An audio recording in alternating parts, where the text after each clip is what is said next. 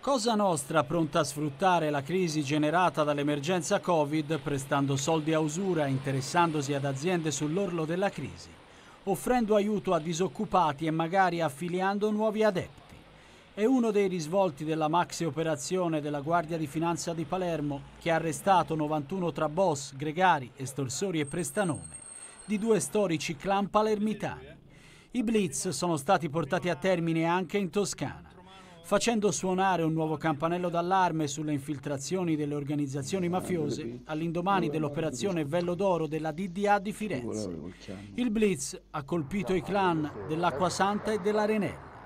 In manette sono finiti esponenti di storiche famiglie mafiose palermitane come quelle dei Ferrante e dei Fontana. Le accuse contestate sono a vario titolo di associazione mafiosa, estorsione intestazione fittizia di beni, ricettazione, riciclaggio, traffico di droga, frode sportiva e truffa.